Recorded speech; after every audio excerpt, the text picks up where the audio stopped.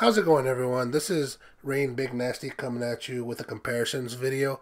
Uh, before we start, I just want to apologize that my throat is a little catchy. I'm getting sick, so I just want to get this video out for you guys. So please apologize for my voice and or every so often that I do cough. Uh, one more thing I wanted to bring up is um, there's a lot of talk on YouTube right now about supply drops being a pay to win system. A lot of the what do you how would I say this? A lot of the privileged that get early access from Activision, they're all kind of defending the whole situation, saying that it's not pay to win, it's randomized, blah, blah, blah, blah. In my eyes, what I say is that's bullshit. Anytime that you can pay to increase your odds, even if it's very minuscule, it does not matter. It's pay to win. It doesn't matter that it's randomized. If you can pay money that more people, a lot of people have more disposable income than other people. But if you can pay to give yourself that advantage, even if it's a percentage, you know, it's pay to win. Don't be sheep. Don't follow that bullshit. It is pay to win. It is what it is. It's okay if you want to do it, do it. I'm not downing you for it, but call it what it is. You know what? Call it what it is. Call a spade a spade. Pay to win. Supply drops, advanced supply drops. Yes, they are. All right.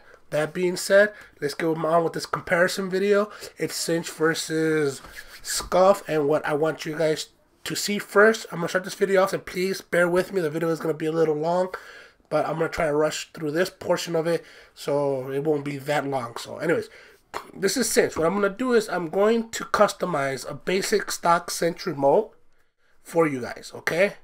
Now, this remote right here is $109.95 just the way it is right there okay? It's your basic remote. It comes with everything default. Just keep everything default except for your trigger stops because otherwise it won't come with trigger stops. So what you want to do is I don't know what the adjustable trigger stops are but this is what I had traditional where you have that little uh, screw right there screwed into it. I mean you want a trigger stop so it'd be no point in not doing it uh, remove the rumbles already comes out. You know, obviously, do not do a software update. It's stupid. You can do it whenever you buy a new remote from the store. You have to update it yourself anyway, so you know how to do it. Don't give them more money than you have to. This is basically it. Stock remote. Your B, your A stock is right here. It's got these little buttons in the back. If you want four, it's one extra here, one extra here. I think you should just stick with two though. There's the B and the A because behind it, it's A, B, left, right, just like here. A, B, left, right. So that's your Cinch remote, right? It's at 117. We're going to go to Scuf, build the Scuf one. If you can see, this is the same price, 109.95. We click on that one. This is just your overview, your paddles. You got your paddles right here. See, it's BA, same thing. A, B, A, and B when it's behind there. So it's left, right, left, right, just the same way. You don't need to remap it unless you have four four, I believe, and you can only remap the two in the middle, which you don't really want to get the four. I just say stick with the two because I'll explain why and later on when I put this these two controllers side by side and I'll show you why you don't want to get these two right here in the middle. Just stick with these two outside ones. That's all you really need. Even though it you kind of want to do it, but don't. Believe me, I'll show you a little bit what later on why options, just keep everything the same. Or the rumbles, they don't have the rumbles out. Here you gotta pay for it. It's three ninety five. That's fine. Adjustable trigger stops, grips. No, you don't need that. Uh, oh, the concealed trigger stops. Okay, concealed ones. This little lip right here, this little flap. It opens up. They put a little something right in here so it could have a trigger stop. Otherwise, if you don't, if you don't, if you just leave it at no, it already comes with trigger stop. It's part of Scuf. You have to pay for it in Cinch. You don't have to pay for it here. So it's a little give and take because you have to pay to get the rumbles out here, but not over there. So over here, you just want to get the, it'll come with a little screw like over here. This is how it's going to come with a screw right there. And that's just standard. Unless you want to conceal it, then they'll put something in here and make it different.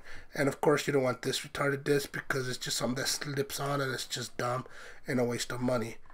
Alright, and then your design, just leave it alone unless you want to pay $10 to put a blue light, which I think is pretty dumb and just leave everything else the same and there you go. That's your stock remote. 113.90 hold on let me move this over here and let me move this one over here and then there you go.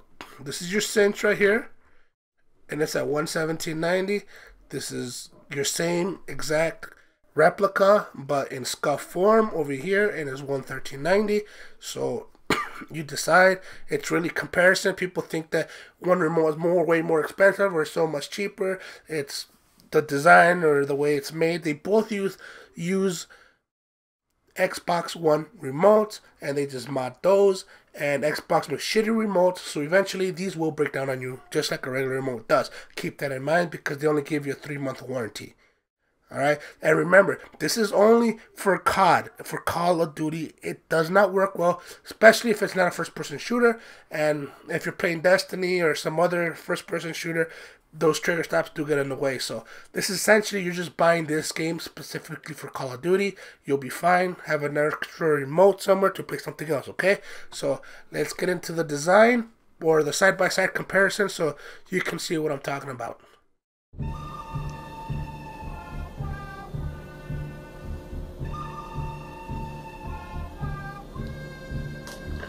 Really want to do this? Hell yeah! You know you're gonna get your ass whooped.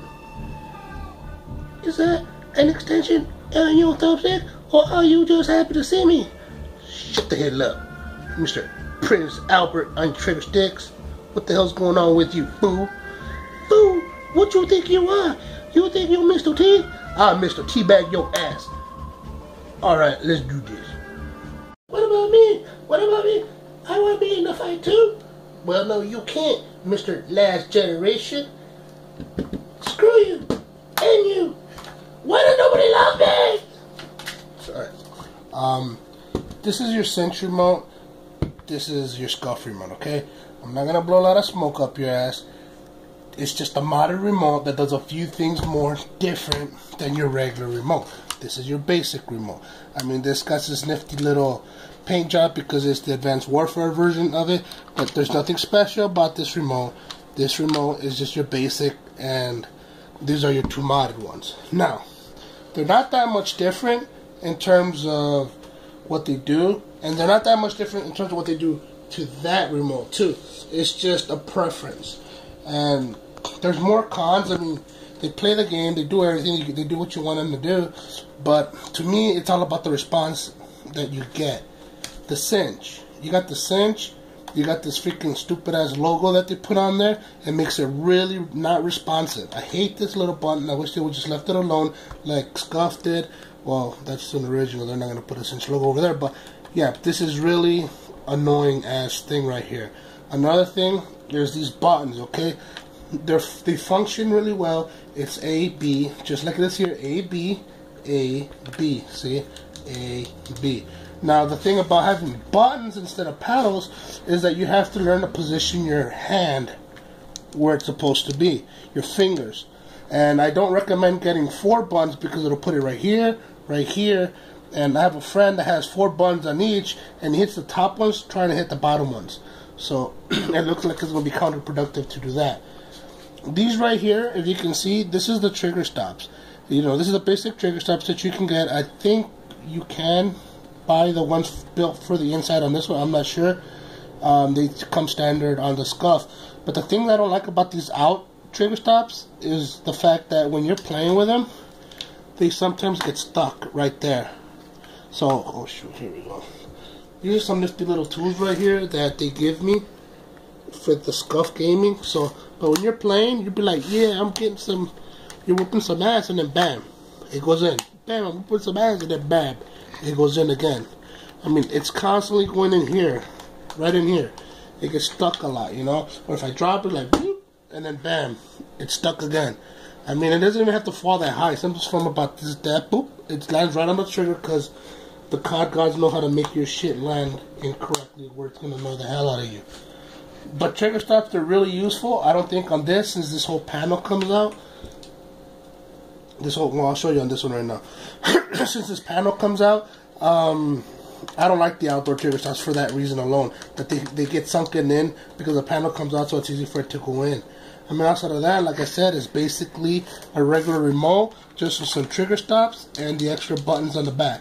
I mean you can order special order and get them jacked up, but you can do different stuff. But I like really keeping my stuff default because I don't like messing with my I don't like messing with my thumbsticks because I use control freaks.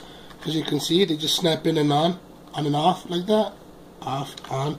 It's real simple. They're real cheap. They sell them now at, uh, I just found out they sell them now at Best Buy, so you can just go in straight there and get it.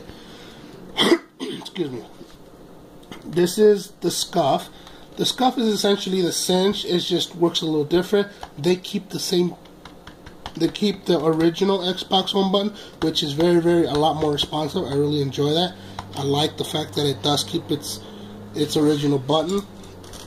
I opted out and decided to pay extra for the trigger stops, the trigger mechanisms. I didn't want to get this Prince Albert here on this one because it has I don't want to have that problem. I learned from that remote what not to do to this remote.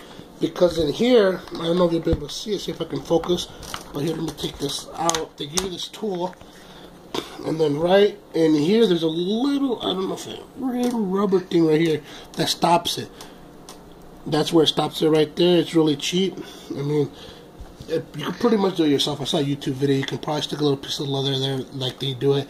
And you can make your own trigger stops. It's really up to you, your your real preference. Um, I got the Scuf grip because my hands they sweat a lot, so I, I, prefer to get the Scuf grip. And this little neat design, this little blue design that I got was just a dollar extra.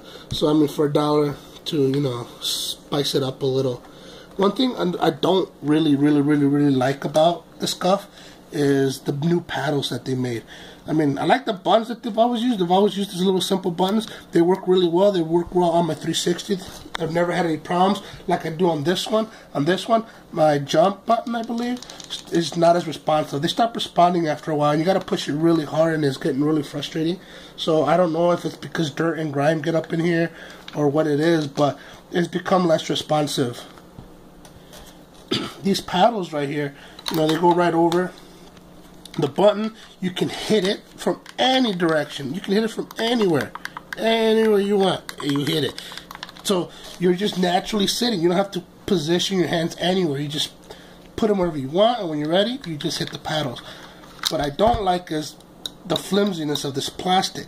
The fact that this is built on the battery case, on the lid, and it doesn't, what do you call it?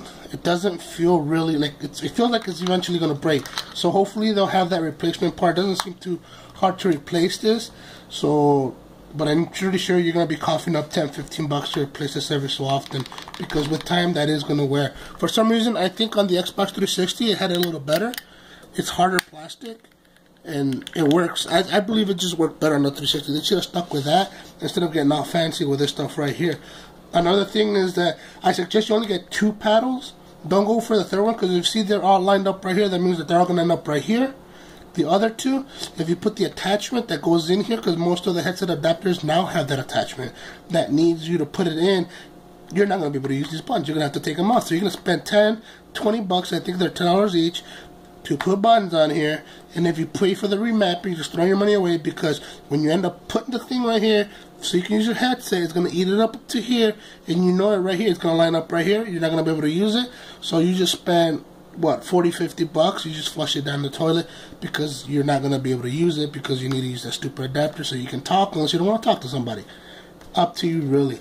But other than that, I mean, this remote is essentially the same shit as this remote. They both good in terms of functionality. I really prefer the Scuf in general just because I like to be able to put my fingers wherever it is that I want. I mean, unless you want to pick uh, claw and do this and then get some early stages of carpal tunnel going. I mean, that's really up to you, but I really prefer the Scuf over the cinch. I mean, the only reason I bought a cinch was because I was supporting a clan that I was in previously, which I'm not in no more, so that's the only reason I bought it. But even when they asked me to do a review on the Scuf to see if I liked it, I didn't want to because I'm not going to promote something that I do not like, and I really don't like this.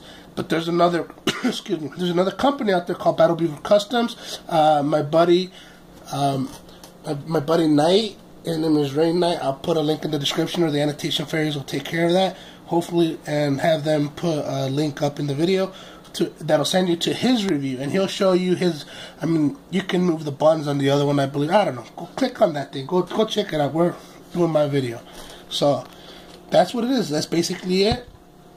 I, if you're gonna go spend your money, I mean, we already went through it in the beginning. The price difference is not that much. It's just the functionality to me, I give the edge here to the Scuf, not to the cinch. The cinch just got your ass whooped. Mm, mm, mm. Ah. Alright, whatever. Guys, I hope you enjoyed the video. I hope it was helpful. Click like, share it, and comment. See what else you would like me to do review on next. Hopefully, you know, I've got some experience with some headsets also. And if you would like, I could actually teach you how to upgrade your headsets. But it's uh, it's just comment on the video, teach me. That's it. If I can get five teach me comments, I'm gonna teach you how to upgrade your headsets slowly and get better headsets. All right? It's not hard. You're just gonna work the system. It's just just take it easy. All right? Well, this is Rain Big Nasty. You guys have a good day.